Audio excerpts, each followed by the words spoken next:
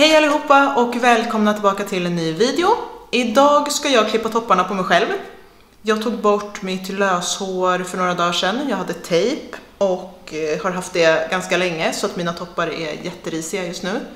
Så jag tänker att jag ska visa hur man klipper eh, topparna hemma. Jag jobbar ju som frisör, men min personliga åsikt är faktiskt att ibland är det lite onödigt för kunder att komma och klippa topparna hos en professionell frisör. Det kanske låter eh, jättedumt av mig som frisör att sitta och säga så, men det går liksom verkligen så fort, speciellt om du har som mig ganska tunt hår, ganska tunna strån, det är liksom inget svårt. Har du tjockt hår och väldigt mycket hår så kan det vara lite svårare. Eller det är lite mer saker du behöver tänka på då. Så att jag kommer utgå ifrån mitt hår, men jag kommer också ge er tips om ni har tjockare hår så att ni ska lyckas med eran toppklippning själva. Så. Jag kommer att kolla lite så här för eh, jag har spegel här bakom så att jag behöver ändå kanske se lite i spegeln om det känns jobbigt att jag kollar liksom förbi er. Så det första vi ska göra är att borsta igenom allt hår.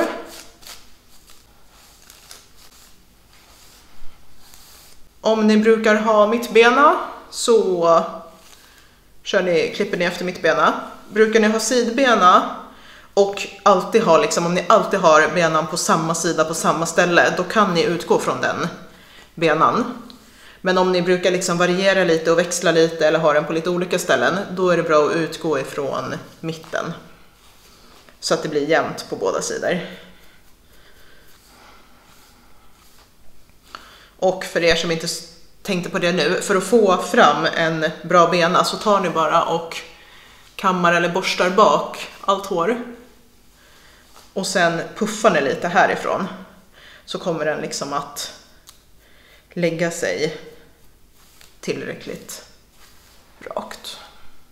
Jag klippte ju gardinlugg i en video så jag tänker att den har vuxit ut ganska mycket och så så att vi ska putsa till den också.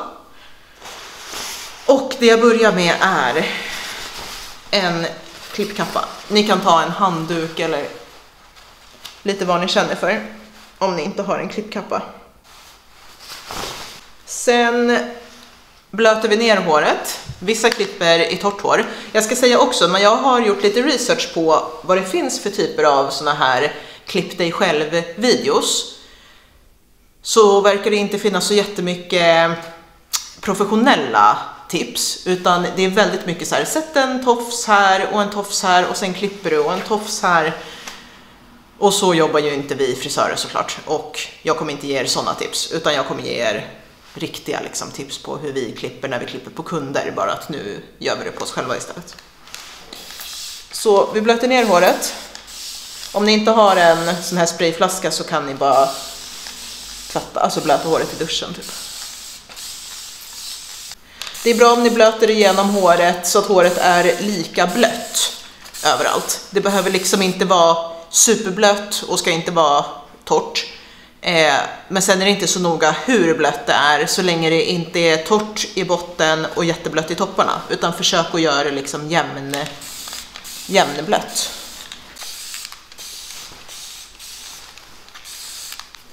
Det jag gör först är att dela av håret i en bena mitt i bak som går från benan vi gjorde där uppe och ner hela vägen i nacken. Den behöver inte vara superrak.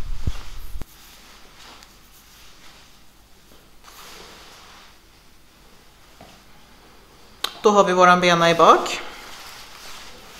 Och så kan vi borsta lite till. Som sagt, mitt hår är ganska slitet nu.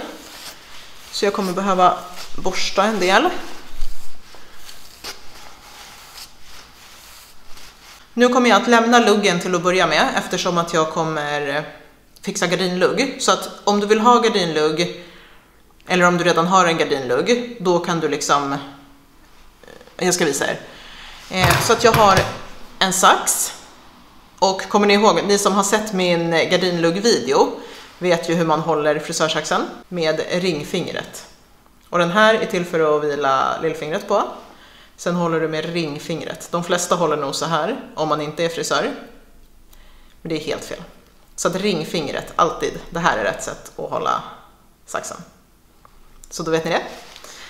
Eh, så att det vi ska göra är att vi, det här är ett väldigt simpelt sätt att klippa topparna på. Många frisörer delar upp det hur mycket som helst i olika liksom, sektioner och klämmor och allt möjligt. Så ska vi inte göra idag, utan vi ska göra det enkelt för oss. Det vet ni att jag älskar enkelt. Så att vi delar av håret härifrån luggen ungefär. Raka vägen ner. Och fortsätter bort hit. Det här är inte heller supernoga. Om ni har tjockt hår, ju tjockare hår ni har, desto tunnare passer måste ni dela av. Jag som har tunt hår, jag tar ganska tjockt. Om du har jättetjockt hår, då kanske du får börja liksom här framme och dela av den här på mitten som jag har gjort, så att du får mindre hår. Sen tar jag en klämma och bara sätter upp den där.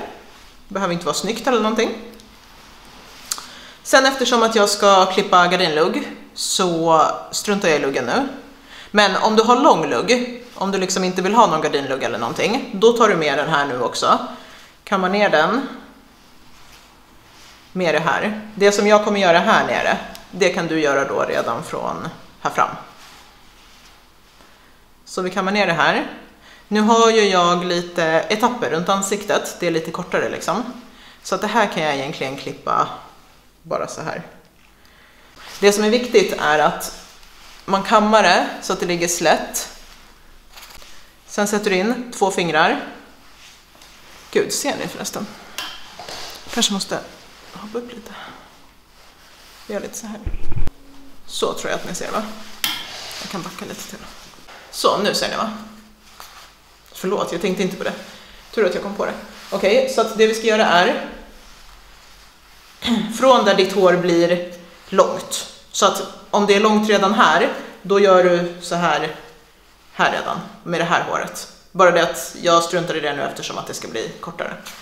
Så att vi tar det här håret, håller ett fast grepp så att håret ligger liksom så slätt som möjligt ner. Och om du vill ha en rak linje, alltså om du vill ha liksom rakt så, inte V-format eller U-format, då håller du fingrarna raka. Och sen här, beroende på hur mycket du vill klippa, men här skulle du kunna klippa av. Och du kan röra på det, liksom handen och allting, håret, så länge du håller stenhårt med fingrarna. Om du inte har så hårt eh, fingergrepp, då får du försöka hålla ner det hela tiden så och inte röra. Har du, känner du att du inte fixar det här med fingrarna alls, då får du hålla ner det så här istället och försöka klippa liksom mot, eh, mot dig själv. Men det vi först ska göra är att bestämma då hur långt vi ska göra det. Och jag ska ju bara toppa nu. Eh, så att jag tänker att jag tar bort det här lilla som ser de här liksom striperna längst ner. Så vi håller. Sen stannar jag först på de här kortaste striperna. Snäddar ner dem lite grann. Sen går vi till de här längre striperna. Jag vill inte ha mitt hår så rakt avklippt så att det är därför jag har den här sluttningen neråt. Eh, för jag tycker det passar bättre på mitt hår. Så att det jag gör då är när jag kommer ner här, istället för att hålla rakt så här, så kommer jag vinkla bak den här biten så att fingrarna pekar uppåt. Så att jag ska hålla fingrarna i den linjen jag vill klippa. Och sen här ser jag vart jag klippte sist, det här som är lite kortare. Det slutar där. Så härifrån börjar jag då så att det möter ihop. Och så klipper jag i en linje neråt. Då kan vi kika om vi tycker att det ser bra ut. Sen kommer det alltid ligga lite ojämnt så ni behöver liksom inte stirra er blinda. Men här skulle jag kunna ta lite till.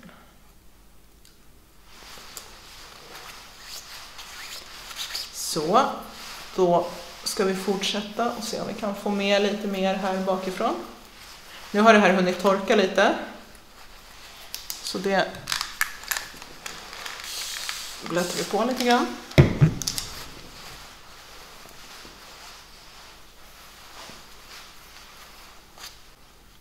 Och så fortsätter vi, för att nu har vi ju våran guide här. Man ser ganska tydligt vart vi har klippt och vart vi inte har klippt.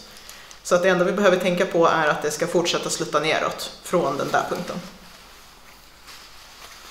Så vi tar... Tänk på också när ni, om ni håller i, kam, i saxen samtidigt som ni kammar, att ni håller den stängd. Så att ni inte har den öppen och håller på och kammar så här, för att då kan ni råka slicea av eh, håret och klippa liksom. Så håll den stängd. Så håller vi ner och så ser vi vart guiden är. Så vi börjar där och klipper neråt.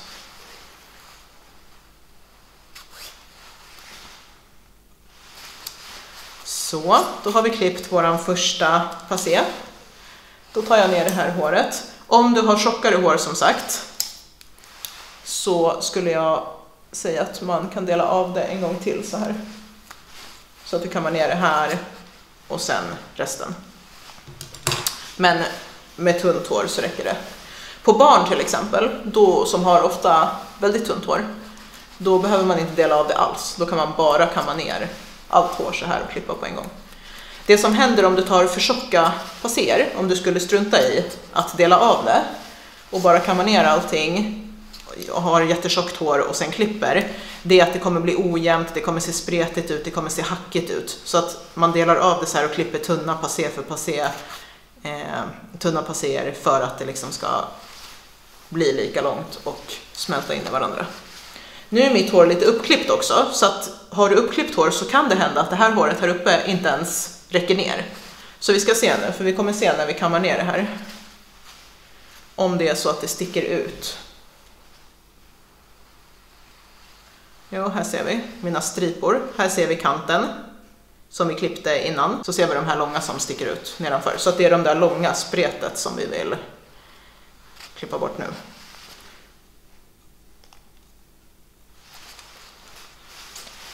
Och så fortsätter vi. Lite spret.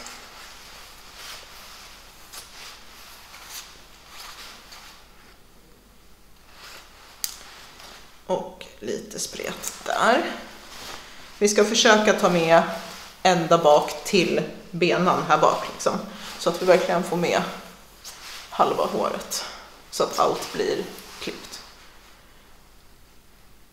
Jag vrider ju också på huvudet, jag vet inte om ni uppfattar det. Jag sitter liksom, om det här är rakt fram så gör jag så här när jag kammar. För att det liksom inte ska kammas fram så här utan för att försöka att det ska ligga liksom så rakt som möjligt. Där var det inte mycket. Så, då har vi klippt den sidan. Man ser ju, även fast jag klippte väldigt lite nu, så ser man ju skillnad på mina tunna små stripor. Men ni ser ju vad tufsig den här sidan ser ut och att den här sidan ser helare ut. Så då ska vi göra likadant här. Vi delar av det.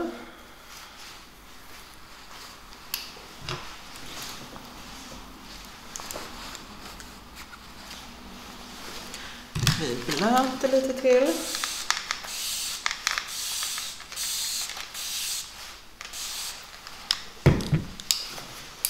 Anledningen att man inte ska klippa i torrt hår är att när håret är blött så blir dels blir hårstråna slätare eh, och rakare och sen håller det ihop bättre, det spretar liksom inte lika mycket.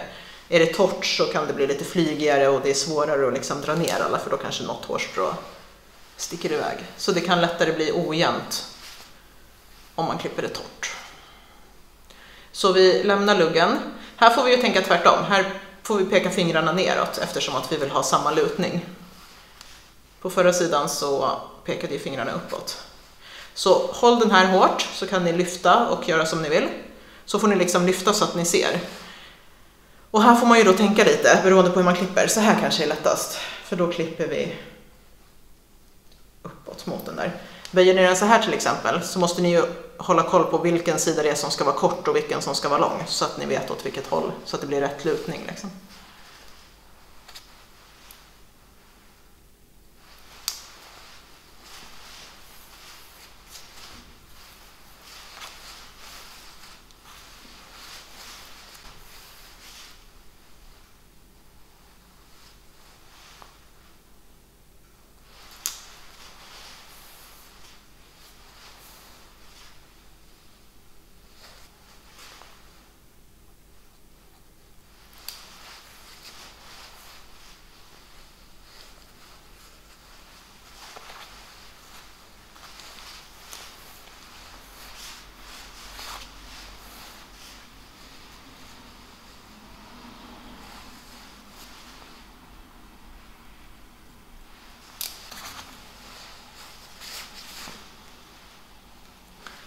Så tar vi ner resten.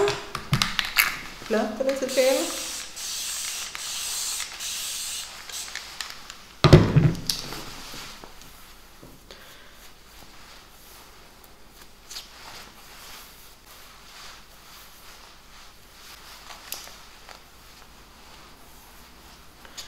Så kollar vi om det sticker ut.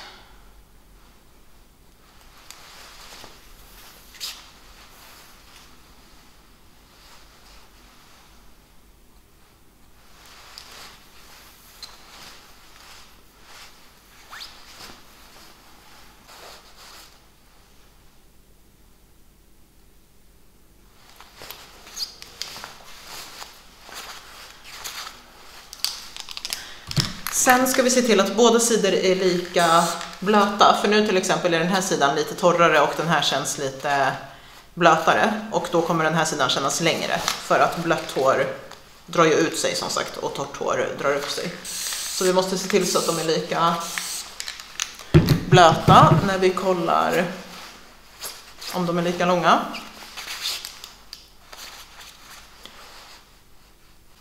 Och jag tycker de känns ganska ganska lika. Det vi ska göra då är att eh, klippa upp det. Så då ska vi kamma allt hår bakåt. Vi kan blöta det lite till. Det här steget är för dig som antingen redan har uppklippt hår Eh, för då behöver det också toppas, för de topparna har inte räckt ner hit utan de topparna kanske ligger här någonstans i mitten av håret. Så att på att bara kamma ner så här och klippa den här linjen, eh, då har vi bara klippt topparna. Du som har jämnlångt hår, du har klippt alla toppar redan. Så att vill du inte ha uppklippt hår och om du inte har uppklippt hår, då är du klar nu. Om du inte vill ha gardinlugg i och för sig också. Eh, men det här är för dig som antingen redan har uppklippt hår eller vill ha uppklippt hår. Så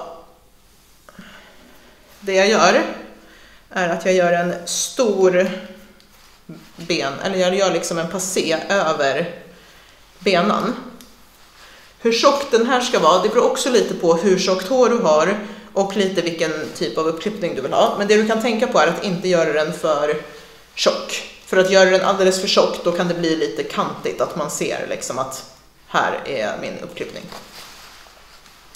Så jag kommer att kammaren här. Sen här är det en grej man ska tänka på och det är att om du drar den här rakt upp då kommer det bli lika kort i fram som i bak och sådär. Jag, och det som är trendigt just nu, lite mer den här butterfly cut, det är ju att det ska vara väldigt uppklippt i fram och runt ansiktet och inte lika uppklippt i bak. Och för att få till det så drar man den framåt. För att om du drar den här framåt, då ser du att härifrån hit är det väldigt långt. Och här är det inte lika långt. Så det vi gör är att vi drar den framåt. Och sen så får du helt enkelt bestämma vart du ska klippa. Om jag klipper här så blir min uppklippning vid käken ungefär. Har du tjockt hår, då kan du klippa upp det mer. Har du tunt hår så får man vara lite försiktig. Så att jag klipper inte upp det så mycket i och med att jag har väldigt tunt hår. Luggen får trilla ner för att den ska vi ändå göra gardinlugg av så den spelar ingen roll. Så det jag gör är bestämmer att de här topparna ska bort.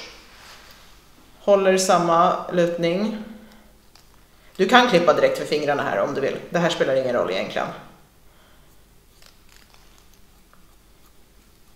Så, klipper bort det där. Det vi gör sen är att det här, den här passén som vi precis hade, då börjar vi med att lägga den åt ena hållet, det spelar ingen roll vilket håll, men jag lägger den åt vänster. Sen kommer jag ta upp som tårtbitar, så jag kommer ta upp, ja här har jag ju mest bara min gardinlugg, men för att ni ska se, ni som har lite tjockare hår, då tar jag upp en bit här.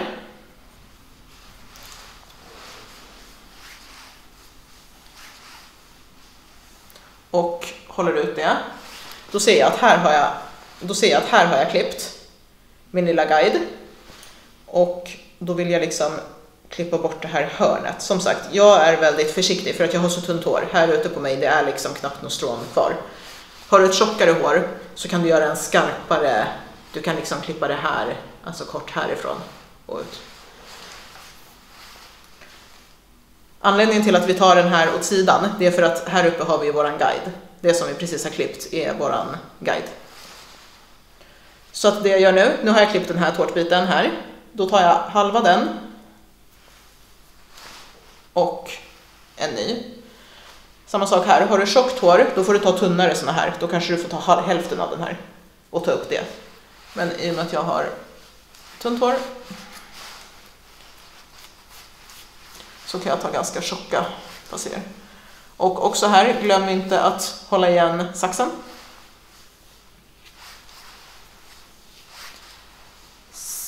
Så, så drar vi upp det. Så drar vi upp det. Stanna en bit innan så att du ser vart du har din guide. Du ska alltid se guiden.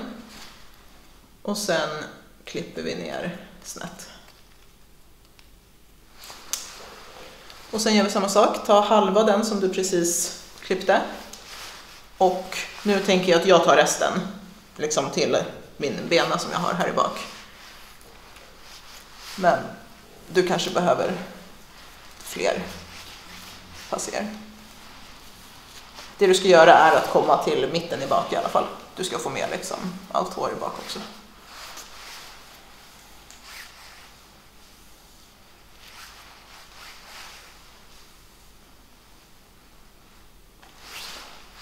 Så, vi har våran guide där uppe, så vi klipper ner det där.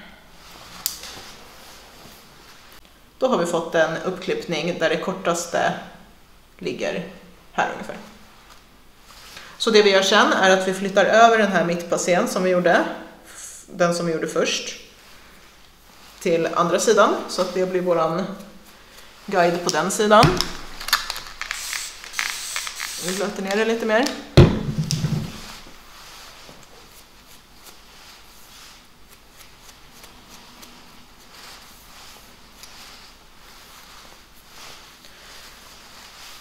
Kammar igenom allting. Ju mer du kammar innan desto bättre innan du börjar med de här passerna för det är jättejobbigt att hålla på och liksom, man får typ mjölksyra i armen. Så det vi gör då är att vi tar en passé härifrån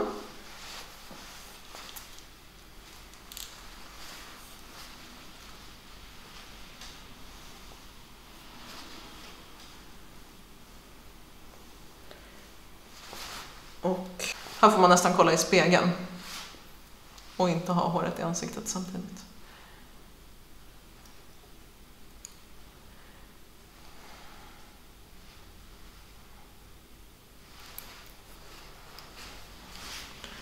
Och sen halva den med en ny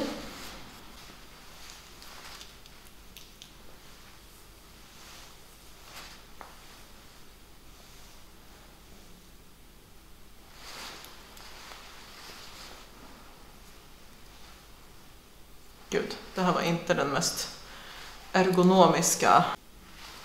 Det här får ni helt enkelt hålla så som ni tycker att ni ser någonting överhuvudtaget. Det här beror väldigt mycket på hur långt hår ni har och sådär, hur mycket ni kommer att se. Ju kortare hår, desto mindre kommer ni se. Och ju längre hår ni har, desto mer kommer ni se. Det här kan ju också vara lite problematiskt om du har väldigt långt hår och ska ut i topparna för att det är ju gränsfall. Jag har inte så långt hår men jag når nästan inte ut till topparna. Det du får göra då är att du får liksom kamma det så och sen hålla ner det och dra neråt. Man kan klippa här nerifrån, tänk bara på att inte liksom klippa det för nära fingrarna utan klipp bara bort toppen och möt upp. Så det här är din guide och sen är ju det här din längsta guide. Så att den här ska du inte heller klippa kortare liksom. Utan du ska möta ihop den, toppa den ihop med den och allt som är däremellan ska bort. Så att nu har vi klippt igenom alla passer. Det vi kan göra, om du har ett tjockt hår eller ett väldigt rakt hår så kan det hända att det kommer synas, eh, att dina liksom, eh, lager kommer synas så att uppklippningen är skarp. På mig blir det inte så för att mitt hår är för tunt. Det du kan göra om det blir så, oj nu tappar vi klippkappan. Det du kan göra om det blir så, det är att du tar en effileringssax. Urtunningssax eller effileringssax, effilersax. Och så tar du upp en ganska bred, då tar jag typ allt det här igen.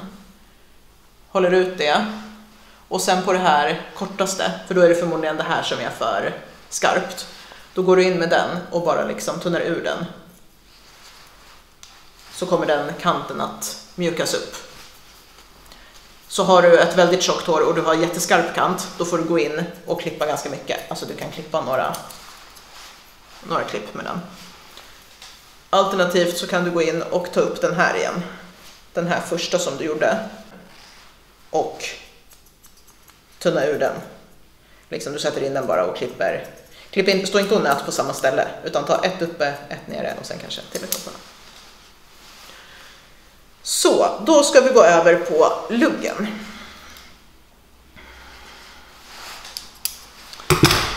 Då blöter vi ner det lite igen. Vi tar våran vanliga sax. Jag delar av ungefär det som är lugg, det är väl typ det där. Jag sätter det bara bakom örat. Om du har tjockare hår som är mer i vägen och mer besvärligt för dig så kan du sätta en klämma här. Men om du har så här tunt, tunt hår så räcker det med, en, med att sätta det bakom öronen.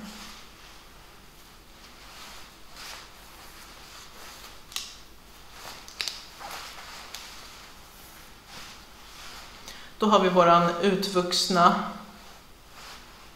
utväxta, utvuxna. Säger man utväxta lugg eller utvuxna lugg? I alla fall, vi har den här. Eh, jag tycker att det är ganska skönt när den... Snygg man är. Jag tycker att det är ganska skönt när den inte är för kort. Oavsett hur kort du vill ha din lugg så gör du på samma sätt. Så att det första vi ska göra är att bestämma vart vi vill ha den. Några guide, guidesteg brukar vara kindben, näskant, mungipa eller haka. Eh, så att en kort gardinlugg, då tänker man eh, vad heter det? då tänker man kindben. Det du ska tänka på är att om du vill ha en kort gardinlugg som ska ligga här vid kindbenen, då är det inte här du ska klippa, utan du måste lägga på minst en centimeter för att det kommer dra upp sig när det torkar och sen ska du kunna få en böj också. Så för att det ska ligga här när det är helt färdigstylat så måste du lägga på en till två centimeter där du klipper. För att den ligger ju aldrig så här platt, liksom så här. Så då blir det fult. Det är det som är det största misstaget som folk gör. Att de kammar ner och sen klipper de och sen hamnar den här uppe liksom och de är helt förstörda och lägger ut på TikTok att de har förstört sitt hår. Eh, så det vi gör jag babblar för mycket så det hinner torka här emellan. Jag tänker att jag eh, tar det till mungipan. Så jag kammar bara ner, som sagt igen, tjatmaja, men jag har så tunt hår så jag kammar ner allt i en passé. Har du tjockare hår, dela av den här på mitten så att du tar först halva och sätter här i en klämma och sen klipper du den och när du har klippt den tar du ner den och klipper den i samma längd. Men mitt tunna tar vi i en och samma, ett och samma svep. Så jag vill klippa det här, vilket gör att den kommer ligga ungefär vid näsan när den är färdigstylad. Och sätt aldrig in och klipp så här, för då blir det inte heller så fint. Eller det kan, det beror på. Om du vill ha en väldigt chunky, markerad, tjock gardinlugg, absolut, klipp av. Eh, annars, pointa alltid din lugg. För att det är då du får det här lite mer flowet. Det blir lite, vad ska man säga, lite zigzagger i topparna så att det blir lite liksom flikigare. Så. Vi tänker en form neråt och vi klipper zigzagger.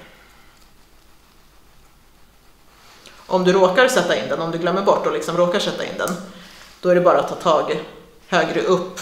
Och om, om jag skulle ha en rak linje här så kan jag fortfarande gå in utan att klippa det kortare. Så kan jag bara gå in och pointa ur det. Så då har vi en lite kortare där. Och den här. Och för att få andra sidan i samma längd så snor jag lite härifrån mitten. Snor lite från den mitten. Kammar ner mina båda mitten.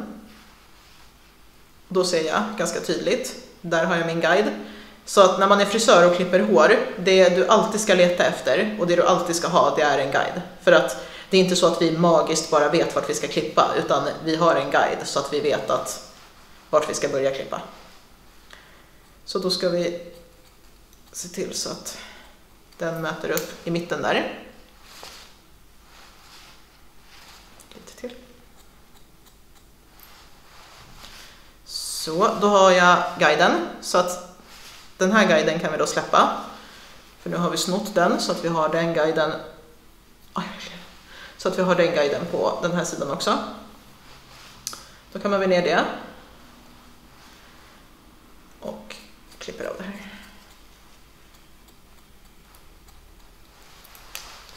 Och det vi ska kolla då är om vi har ungefär samma lutning. Så att vi vet att det här håret är lika, lika långt nu, eller lika kort.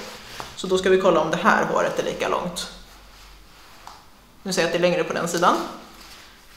Då klipper vi lite till här ute på kanten. Så att man har samma liksom. Så. Det vi kan göra med luggen, även fast vi har pointat det så kan det upplevas lite tjockt.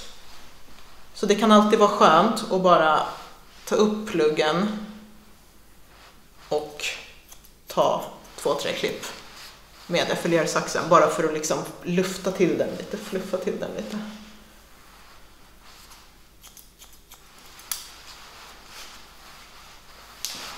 Så, nu har vi klippt hela håret. Så då ska vi styla till det lite. Jag kommer att ta bort den här, den var jobbig. Jag tror att jag ska ha i lite sån här idag. Eh, det är en volymmousse från ett märke som heter Gold. Så den tar jag och masserar ut i händerna. Gnuggar i botten. Jag är inte så himla produktig av mig. Jag gillar liksom inte att ha för mycket produkter för jag tycker att jag gillar inte den här känslan när det blir strävt i håret. Men samtidigt, det här platta tunna håret behöver liksom lite produkt för att kunna få lite volym. Så, då har jag en rundborste. Den här är väldigt lång och stor, men ta en ganska stor eh, form. Den behöver inte vara så lång, men ta en ganska stor rundborste så får ni upp högre volym. Sen ska man tänka på lite saker här också. När ni tar upp en passé och fönar den, håll inte liksom så här och föna, för att då blir det fortfarande platt här. Utan sätt in den och sen trycker ni åt andra sidan så att håret liksom får en skjuts åt fel håll först. Det är då ni får upp volymen. Och sen behöver ni inte tänka så mycket på luggen nu, jag bara fönar den nu, sen kommer vi forma till.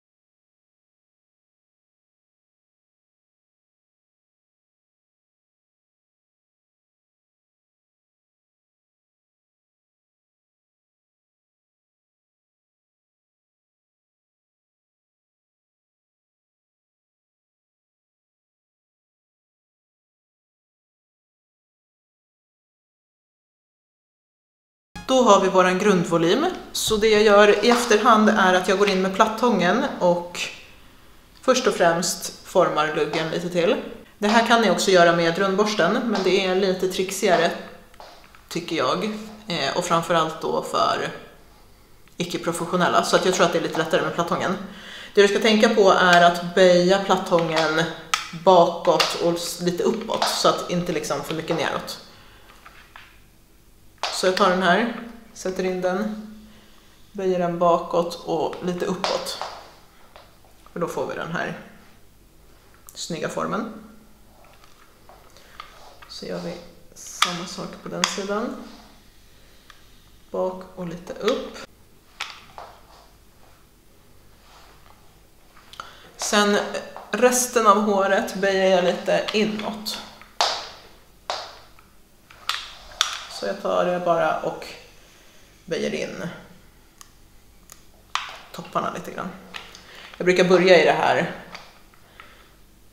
långa håret. Egentligen här kan man också hålla på och dela upp det och sådär. Men jag är lite för bekväm för det. Jag har ju en fem månaders bebis, Vanessa, och en nioårig tjej, Valentina, som ni, ni som följer mig vet ju det. Men med två barn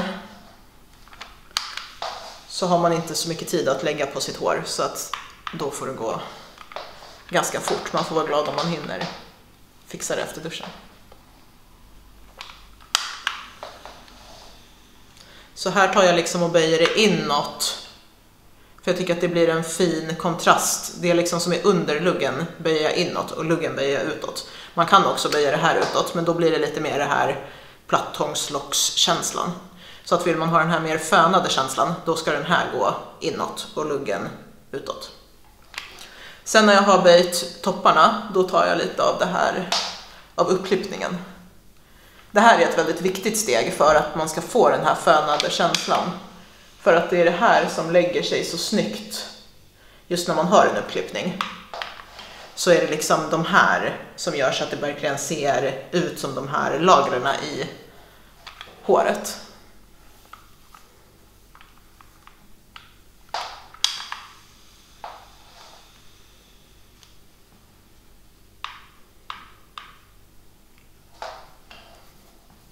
Ser ni vad snyggt?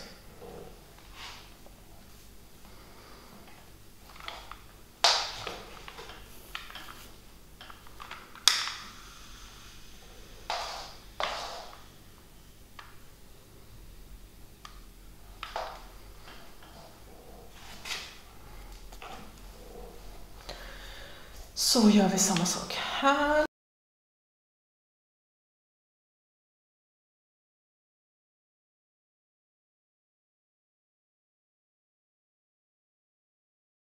genom håret och sen krama till topparna lite igen. Det är då ni får den här svallkänslan på det, liksom, att det blir det här lite fluffiga. Kommer ni ihåg hur det såg ut innan? Jag slänger in en bild så att ni får se en påminnelse på hur det såg ut innan och hur det ser ut nu.